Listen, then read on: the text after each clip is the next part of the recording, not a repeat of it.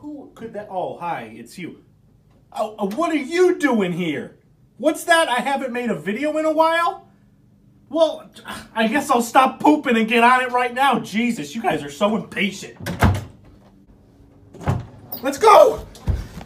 Hey, what up, everyone? It's Matt Mamba. I'm back. Let's just get right into the freaking video, okay? So, everyone's been stuck in their houses, bored as frick because of the COVID.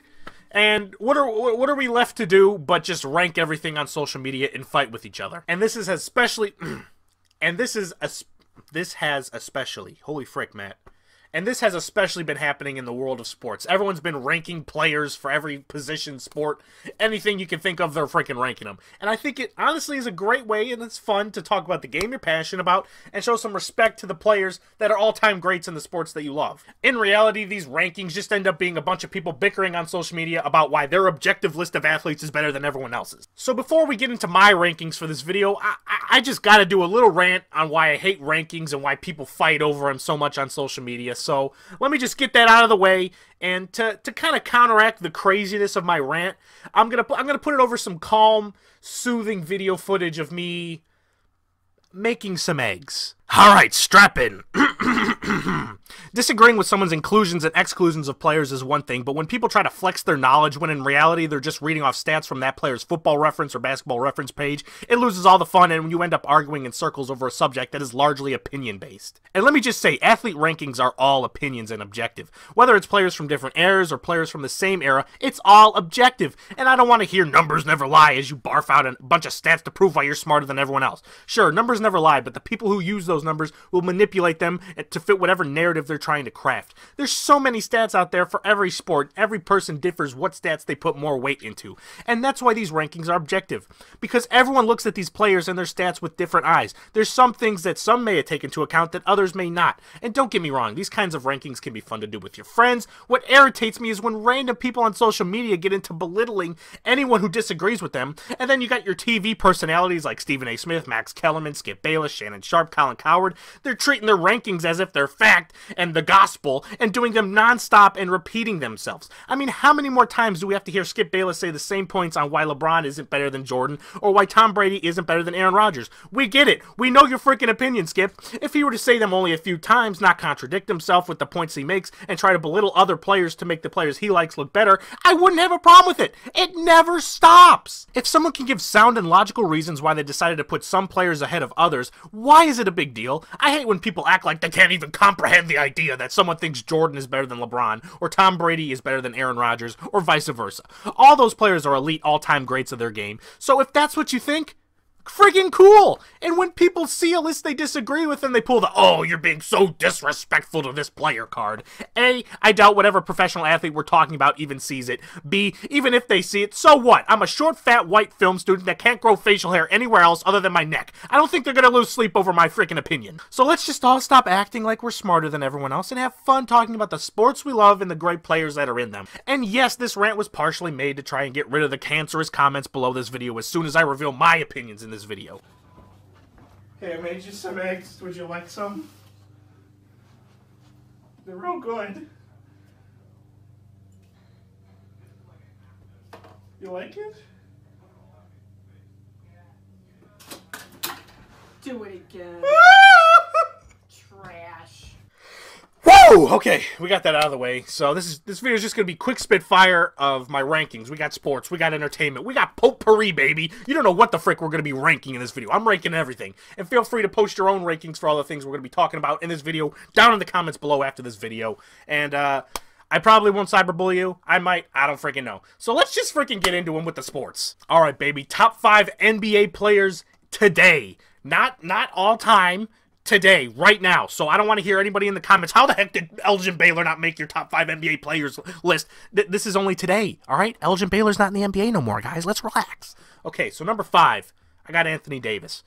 Great shot blocker, great defensive player, can spread the floor as a big man, shoot from anywhere. Just a great scorer.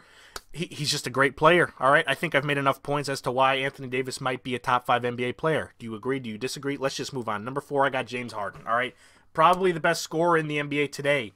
Um, he can shoot. He does it, it, it. There will be nothing that will deter James Harden from shooting. I don't care if a man has his entire family gunpoint saying, "If you shoot the freaking ball again, I will blow your freaking family's brains off." James Harden's gonna look at him and be like, "I'm freaking shooting," and then he's gonna still shoot the ball. Number three, I got Kawhi Leonard, another great two-way player, can play defense elite, is a great offensive score, uh, scorer, just a great facilitator. He, he garners a lot of attention. Kawhi Leonard's one of the best. I mean, two-time Finals MVP. All right, Kawhi Leonard's a great guy. I'm rambling. You guys get it. Kawhi Leonard's a great player. Number two, I got the Greek freak Giannis Antetokounmpo. All right, the guy is just a freaking menace. And the thing is, he could still be getting better. So he could be potentially number one even next year or even after the COVID freaking break. You don't know. All right. And number one, obviously, I have LeBron James is still the number one player in the NBA. He's just more effective as Giannis Antetokounmpo. He garners more attention and he's just an you you have him on your team and you are an instant finals contender. I don't care if he was on the Lakers, the Heat, the Cavs, or if he joined the Wizards for some freaking reason. If LeBron's on your team, that's a freaking threatening team and you got to go full go every time he's on the court. All right? So, quick honorable mention for this list. I'm not going to do an honorable mention for every top 5, but here we go. I got to say Kevin Durant coming off the injury, not too sure how he's going to react to the injury, not too sure how he's going to come back. I'm sure he can come back and be still a great player, but not too sure. It's, it's a tough Achilles injury, right? So if, if he's anywhere close to the Kevin Durant that he was before the injury, he's probably going to be somewhere on this top five. Just don't know how he's going to come back from it. So that's a little asterisk. I'm rambling. Let's go on to the next list. Top five all time NBA players. All right. This is where potentially Elgin Baylor could be there. He's not, but I mean, he could. He could, but he's not. All right. Number five, I have Magic Johnson. This guy had his career sh- cut short by the uh, the AIDS or HIV, I guess. But um, dude was dominant. He won what five championships and how many years did he play? I'll put it over here, but he, he could have played longer. He could have won more championships. The guy was eh, just an insane passer of the ball. Could just so many great things came from Magic Johnson. I watched the highlights of Magic and I'm like, Jesus, this guy is insane.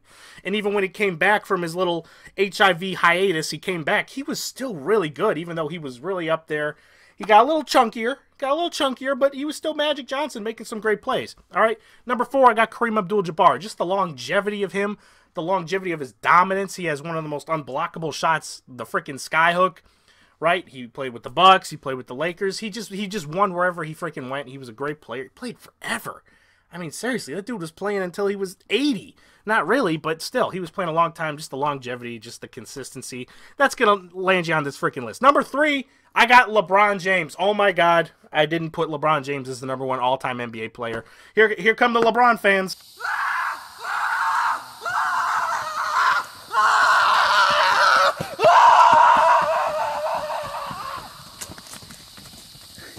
I'm sorry. And this is no disrespect. He's the third, in my opinion, the third all time best player to play the game of basketball. I'm sorry, is that an insult? No, it's not. And he's still playing, so he can come up the list the more he accomplishes. I mean, he's still accomplished a lot, and it's it's objective. You if you put him number one, I'm not gonna freaking argue with you. He's LeBron freaking James. He's one of the all-time greatest. If you put him number one, I'm not gonna fight with you. This is just my list, all right? I'm just gonna get this out of the way right now because everyone's gonna hate me. Number two is Kobe Bryant. He's my all-time favorite NBA player. He's probably my all-time favorite athlete. Probably my all-time favorite person. Sorry, mom, but drop 81 points in a game before you're better than Kobe Bryant. I'm sorry, that's just how it goes.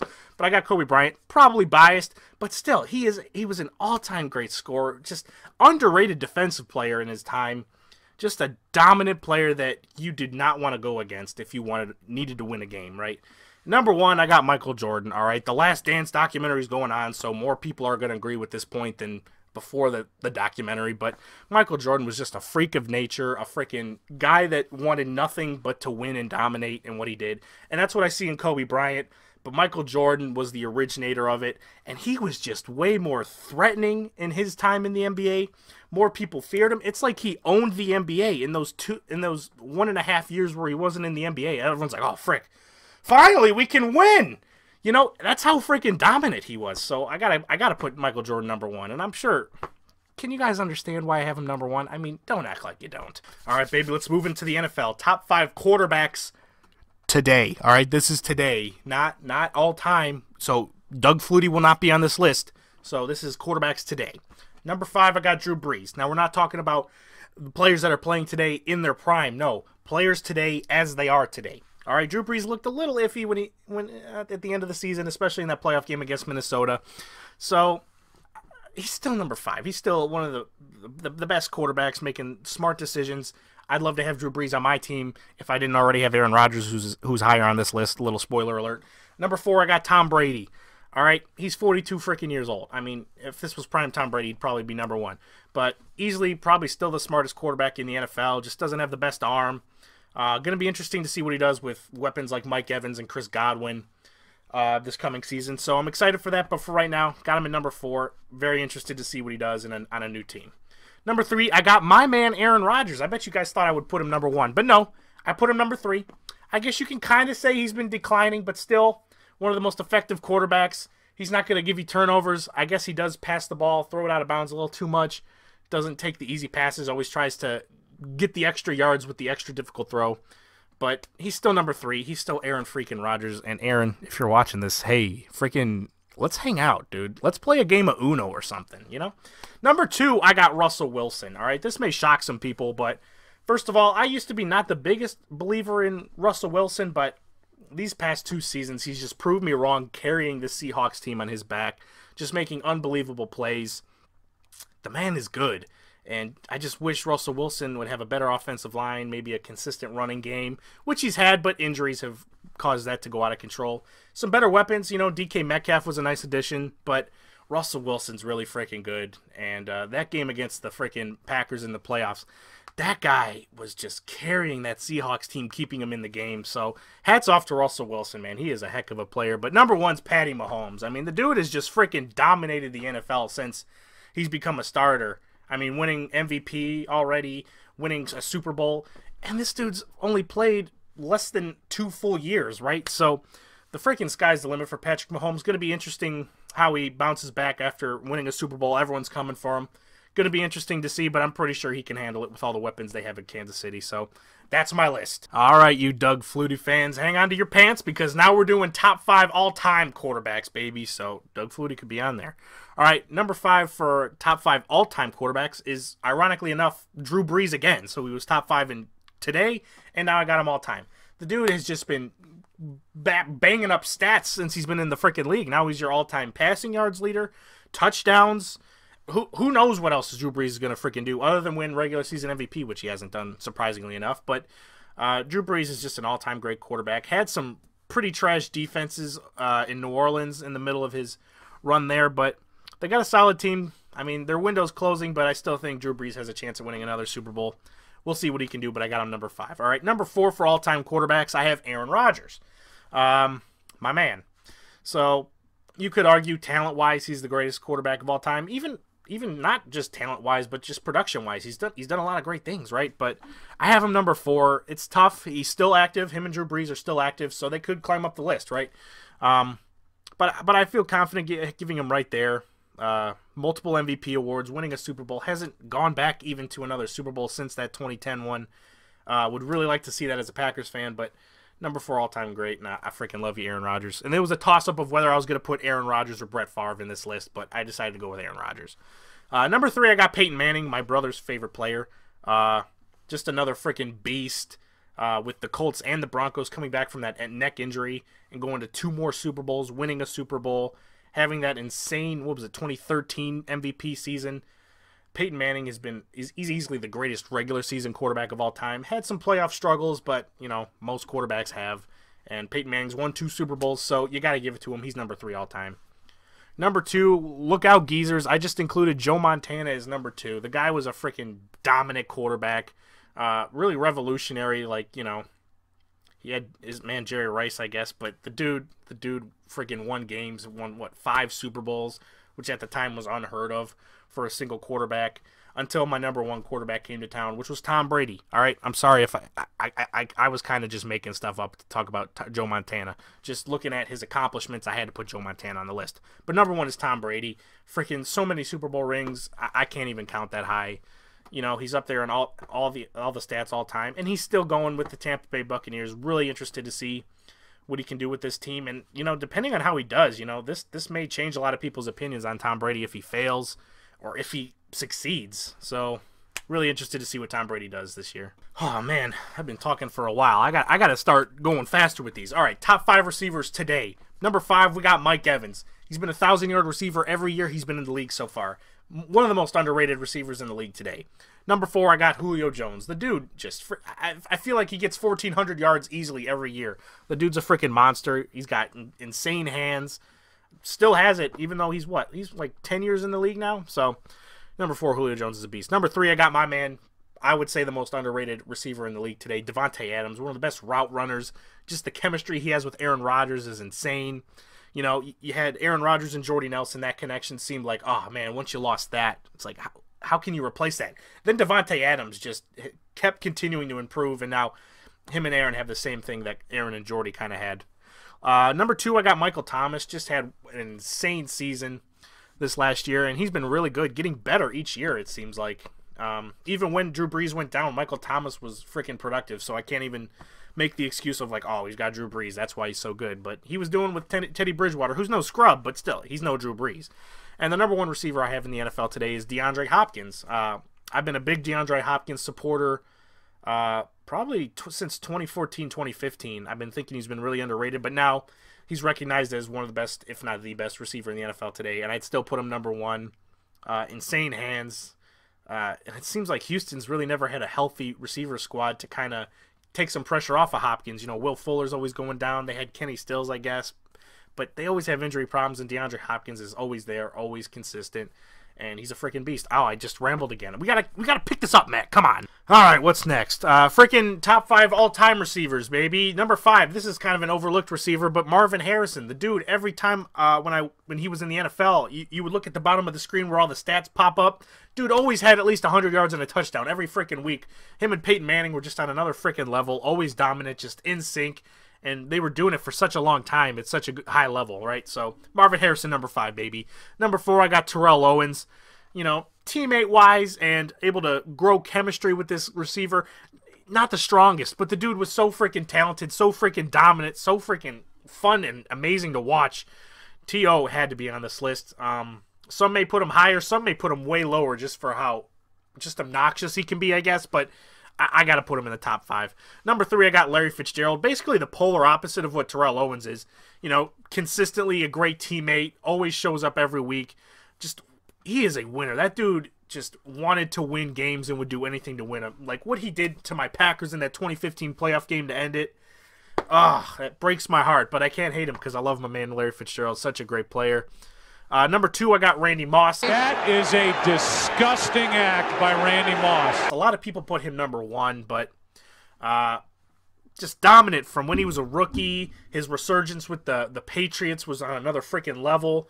Kind of a weird way to end his career, you know, where he played with the Vikings and Brett Favre for a little bit, and then he went to the Titans, and then he retired, came back, went to the the Niners. I don't I don't know what Randy Moss was doing at the end of his career, but it seems like it, it kind of wasted. But Randy Moss such a dominant receiver, and obviously I would understand if you have him number one. But I have Jerry Rice number one. Uh, such a dominant freaking receiver, just unheard of at the time for how dominant he was in the league. Um, and his numbers, like all time, it's going to be really tough to catch, even with today's NFL, pass happy NFL, right? And my brother actually made a great point when I showed him this list was imagine Jerry Rice in today's NFL where you can only hold the receiver – in the first five yards and not all the way down the field. And with how pass interference is called, Jerry Rice would be a scary guy, right? So that's my top five all-time receivers. I'm going to end this clip uh, portion right now. All right, most of the serious sports stuff that I feel like I have to justify my opinions to are over with, and now we're just gonna have a little bit of fun, do a little bit of spitfire. My top five personal go-to movies.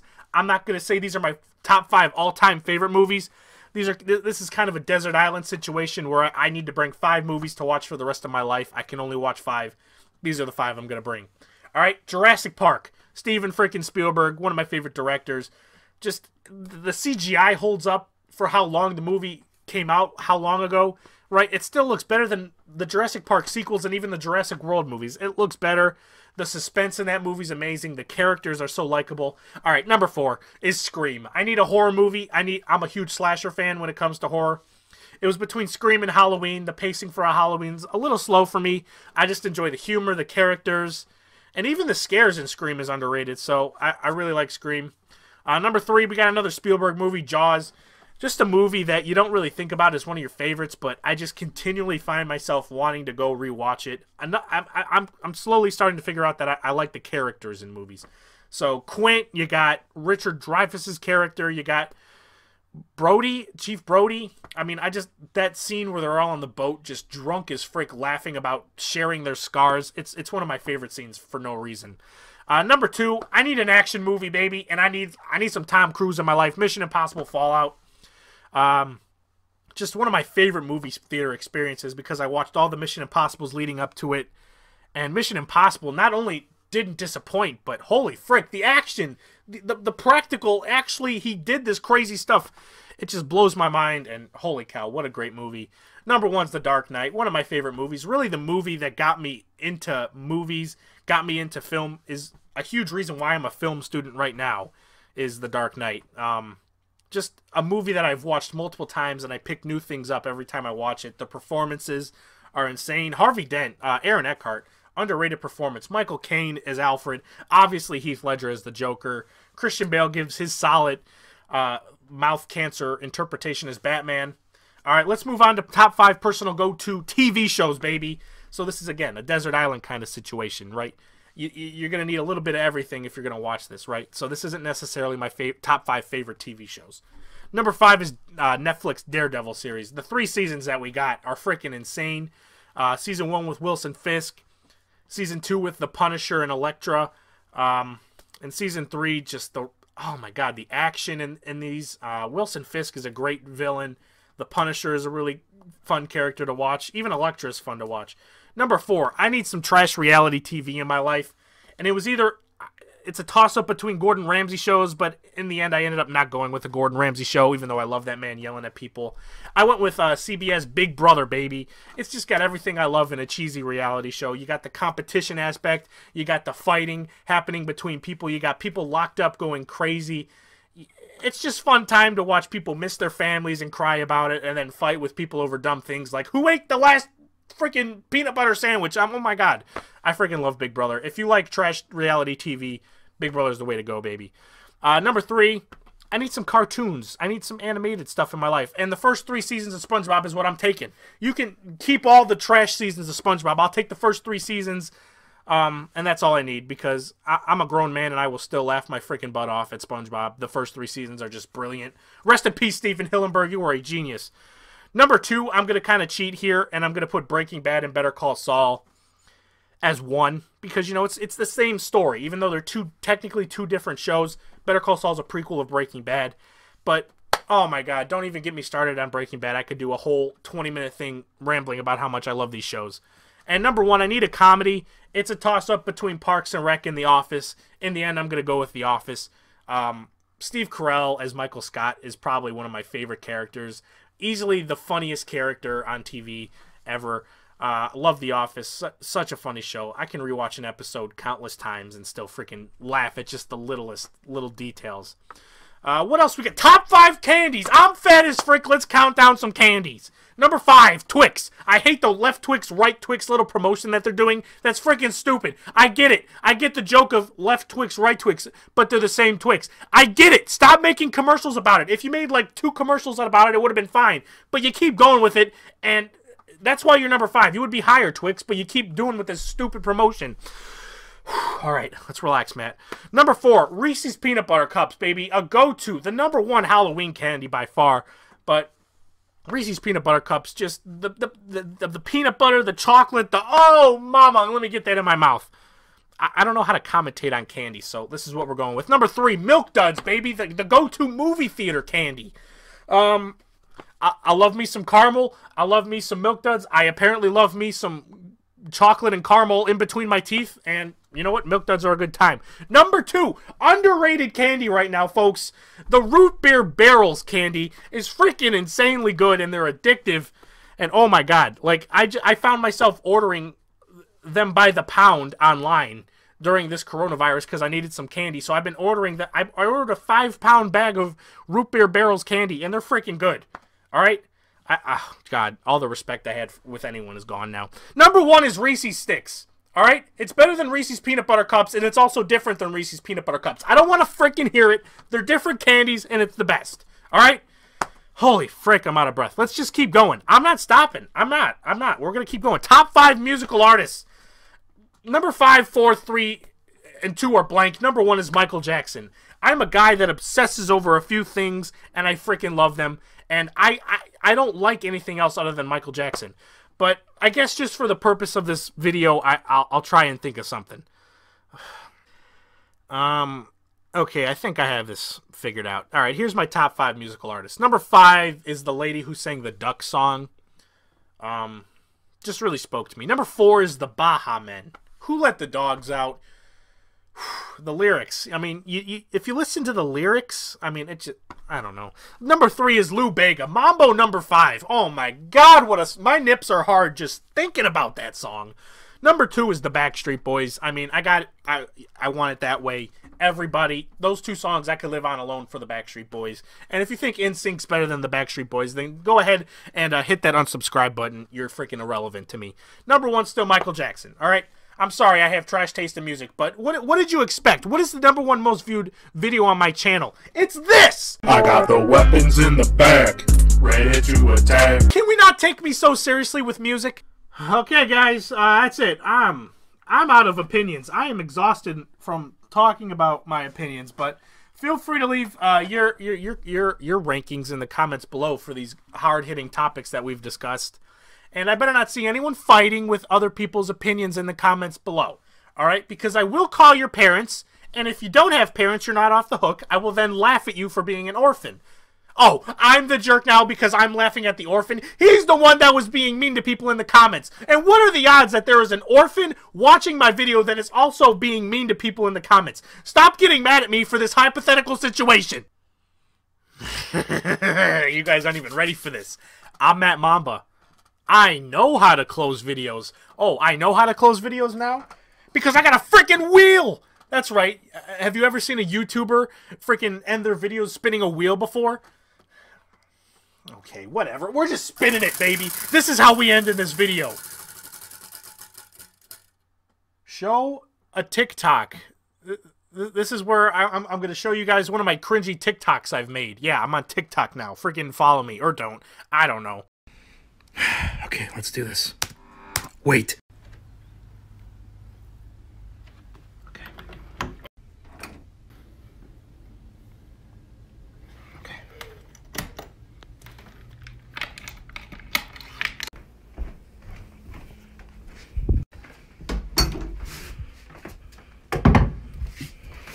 Okay, I think we're good. I think we're good.